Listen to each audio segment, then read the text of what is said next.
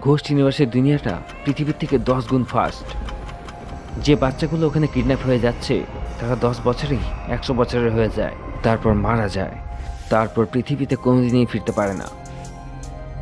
আর এখানে যে ক্লোনগুলো আসছে, তারা দিনের বেলায় স্টোনগুলোকে খুঁজে বেড়াচ্ছে। ক্লোনগুলো জানতে পারে যে একটা লাইব্রেরিতে ওই স্টোনের ব্যাপারে অনেক ইনফরমেশন লুকিয়ে আছে।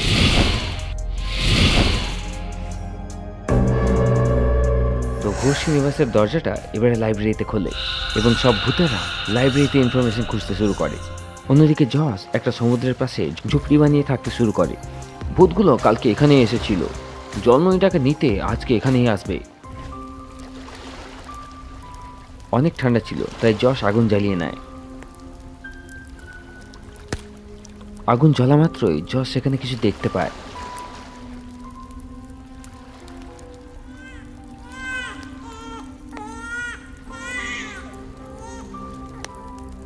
এই আগুনটাতে আমি বাচ্চা কেন দেখতে পাচ্ছি? আর এই বাচ্চাটা আমার মধ্যে দেখতে কেন? এই একলা কেন আছে? এ কেন কাঁদছে? কেউ ওকে কেউ ওকে চুপ করাও। হঠাৎ করে জসের ঘুম ভাঙে। কে ছিল ওটা? কে ছিল ওটা? আমি কে? আমার ছোটবেলাটা কেমন? আমি আমার ছোটবেলা কেন মনে করতে পারছি না? জস একটা স্বপ্ন দেখছিল। তখনই তার কাছে একটা ফোন আসে। ফোনটা একটা লাইব্রেরি থেকে এসেছিল। লাইব্রেরিয়ান নীলেশ বলে, স্যার স্যার স্যার স্যার আরে বাবা, কি স্যার স্যার করছ? ঠিক করে বলো কি হয়েছে। তখন নীলেশ জসকে বলে, রাতের বেলায় আমি লাইব্রেরিতে বসেছিলাম। তখনই হঠাৎ লাইব্রেরির মধ্যে থেকে ভয়ানক আওয়াজ আসতে শুরু করে। দেখতে দেখতেই সেখানে অনেক ভূত চলে আসে। মনে হচ্ছিল তারা কোনো বই খুঁজছে।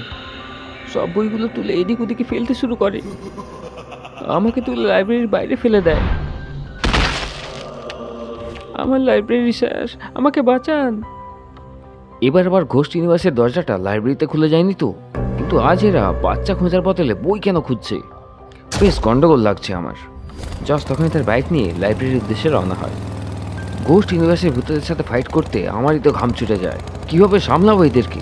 রজনী হলে একাই সবাইকে দেখে নিত। জাস্ট লাইব্রেরির কাছে পৌঁছে যায়। কিন্তু সেখানে একটা নয়, তিনটে লাইব্রেরি ছিল। জস কনফিউজ হয়ে যায় যে কোন লাইব্রেরির ভিতরে ঘোষ ইউনিভার্সের দরজাটা খুলেছে? তোমরা কি বলতে পারবে কোন লাইব্রেরির ভিতরে ঘোষ ইউনিভার্সের দরজাটা খুলেছে? ভাবো ভাবো।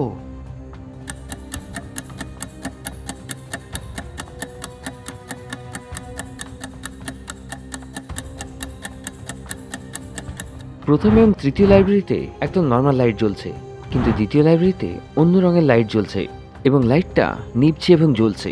এরপর বিভিন্ন রঙের লাইট থেকে তো মাথা ধরে যাবে। তাই এরকম লাইট লাইব্রেরিতে থাকতে পারে না।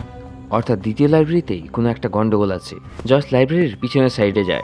সেখানে কোনাতে নীলেশ বসে কাঁদছিল। জস মাটি থেকে একটা পাথর তুলে নীলেশের উপরে মারে। নীলেশ আরও ভয় পেয়ে যায়। কে? কে আছে ওখানে? আরে বাবা, আমি তো জস দ্য ঘোষ হান্টার। জসকে দেখা মাত্রই নীলেশ জসের দিকে দৌড়ে আসে।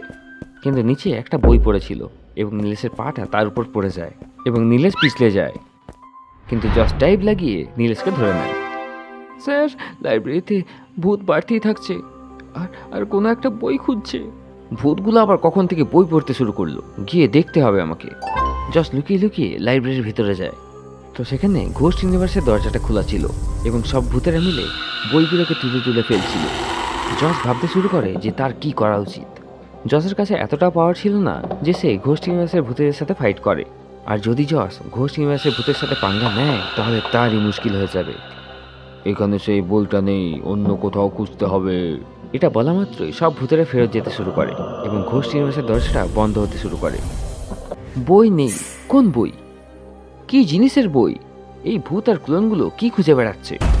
যাওয়ার আগে জস নীলের সাথে সব বইগুলোকে আবার রেখে দেয় এবং আবারও ভূতিস্থানের উদ্দেশ্যে রওনা হয়।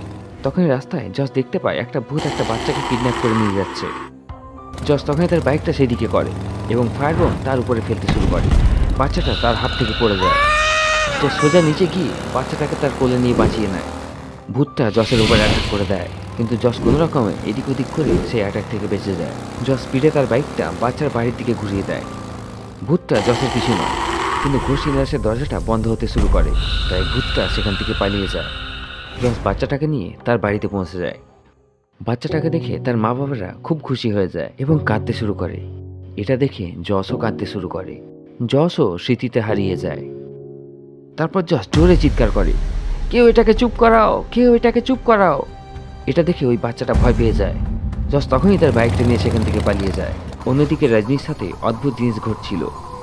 কখনো সে মিসিং হয়ে যাচ্ছিল, কখনো তার শ্যাডো মিসিং হয়ে যাচ্ছিল। রজনী এসব দেখে খুব রাগ হচ্ছিল। রাগে তার বডি থেকে ফায়ার বেরোতে শুরু করে। ফায়ারটা তার বডি থেকে বেরিয়ে এদিক ওদিক যেতে শুরু করে। একটা গিয়ে গাছে লেগে যায় এবং গাছে আগুন ধরে যায়। আগুনটা ছড়িয়ে পড়তে শুরু করে এবং তিন চারটে গাছ জ্বলতে শুরু করে। রজনী ভয় পেয়ে যায়। এটা দিয়ে আবার পুরো জঙ্গলে আগুন না লেগে যায়। তখনই সেখানে একটা সাধু চলে আসে এবং তার শক্তি দিয়ে জল ছেড়ে দেয় এবং সব ফায়ারটাকে আটকে দেয়। রজনী, তোমাকে তোমার পাওয়ারগুলোকে কন্ট্রোল করতে হবে। তার জন্য তুমি হিমালয়ের দিকে যাও। সেখানে তুমি এটাকে কন্ট্রোল করার শিক্ষা পাবে। রজনী তাকে কিছু জিজ্ঞেস করার আগেই সাধুটা সেখান থেকে গায়েব হয়ে যায়। রজনী হিমালয়ের দিকে পা বাড়াতে শুরু করে। তখনই তার পাশ দিয়ে একটা লেজার বেরিয়ে যায়। আরে এটা কি? রজনী ওই লেজারটাকে ফলো করতে করতে এগিয়ে যায়। তো সেখানে সে কাউকে একটা প্র্যাকটিস করতে দেখে। রজনী তাকে সম্পূর্ণভাবে দেখতে পাচ্ছিল না। রজনী তার কাছে যেতে শুরু করে। অন্যদিকে ভূতগুলো শহরের সবচেয়ে পুরনো লাইব্রেরিতে পৌঁছে যায়। আবার একটা বই খুঁজতে শুরু করে। ভূতের সাথে ক্লোনগুলোও ছিল। উত্তর দিকে স্টোনের কাছে কীভাবে যাওয়া যেতে পারে, সেটা খোঁজার চেষ্টা করছিল। তারা একটা বই পায়, যেটাতে উত্তর দিকে স্টোন পর্যন্ত যাওয়ার রাস্তা দেওয়া ছিল। কিন্তু স্টোনটা কোথায় লুকিয়ে আছে, এটা বলা ছিল না। ক্লোনগুলো বইটাকে বোঝার চেষ্টা করছিল। এই বইটাতে তো কিছুই বুঝতে পারছি না। বলছাসকে তার ঘোষ ইউনিভার্সের সাথে বাইরে আনতে হবে।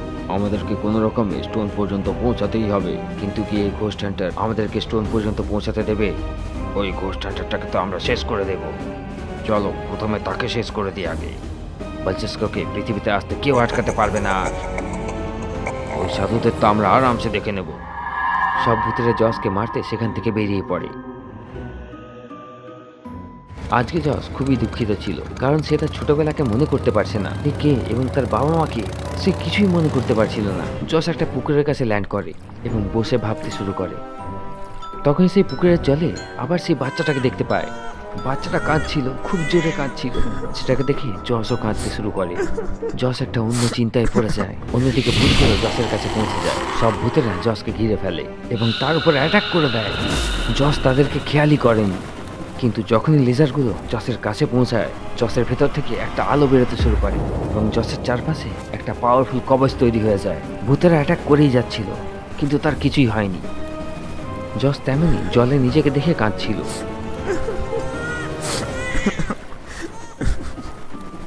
এবং ভূতগুলো জসের কিছুই করতে পারছিল না। জস কি তার পাওয়ারগুলোকে খুঁজে পেতে শুরু করেছে? জস কি তার বাবা মা সম্পর্কে জানতে পারবে? দেখব আমরা পরের সপ্তাহে।